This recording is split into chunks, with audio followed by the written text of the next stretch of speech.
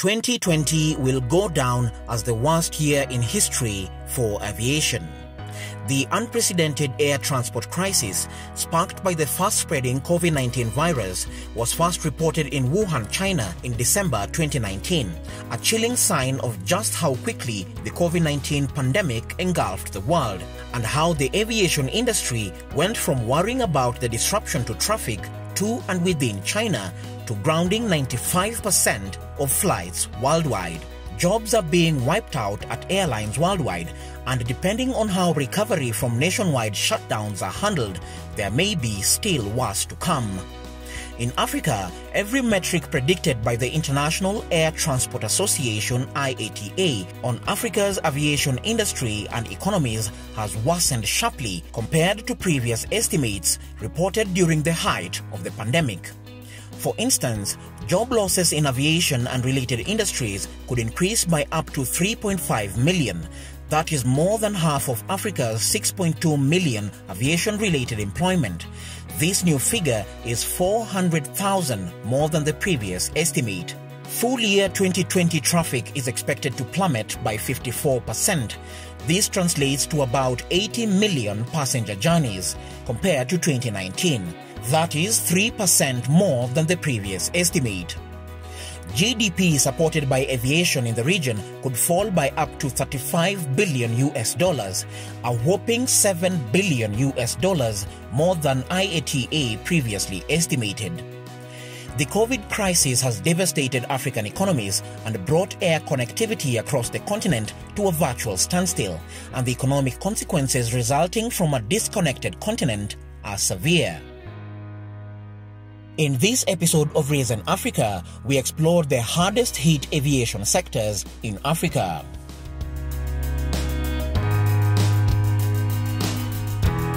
Fourteen point five million fewer passengers, resulting in a 3.02 billion US dollar revenue loss, risking 252,100 jobs, and 5.1 billion US dollars in contribution to South Africa's economy.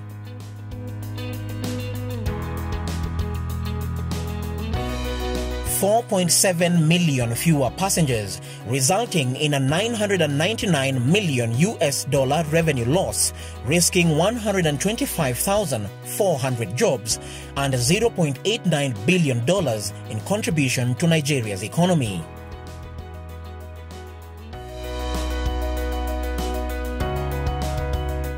Ethiopia risks 2.5 million fewer passengers, resulting in a 0.43 billion US dollar revenue loss, risking 500,000 jobs and 1.9 billion US dollars in contribution to Ethiopia's economy.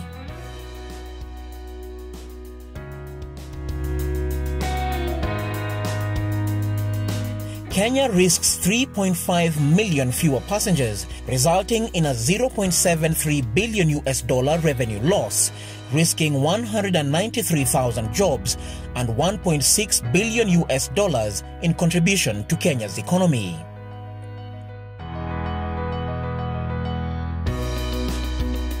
Tanzania risks 1.5 million fewer passengers, resulting in a 0.31 billion US dollar revenue loss, risking 336,000 jobs and 1.5 billion US dollars in contribution to Tanzania's economy.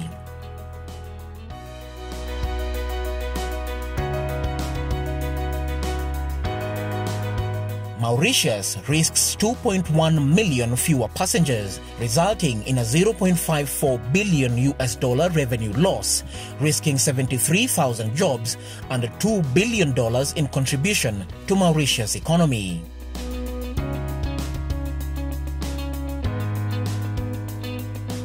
Mozambique risks 0.7 million fewer passengers, resulting in a 0.13 billion US dollar revenue loss, risking 126,400 jobs and a 0.2 billion US dollars in contribution to Mozambique's economy.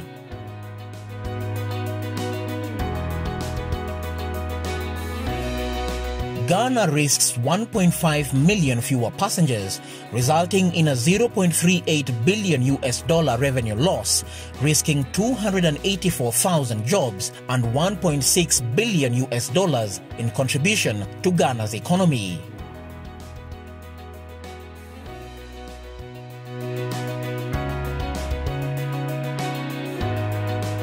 Senegal risks 1.3 million fewer passengers, resulting in a 0.33 billion US dollar revenue loss, risking 156,000 jobs and 0.6 billion US dollars in contribution to Senegal's economy.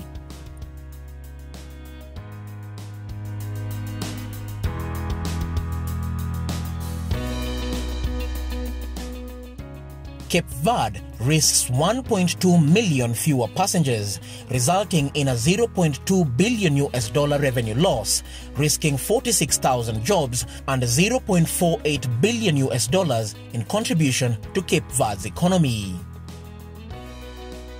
To minimize the impact on jobs on the broader African economy and an accelerated recovery of air transport across the continent is vital.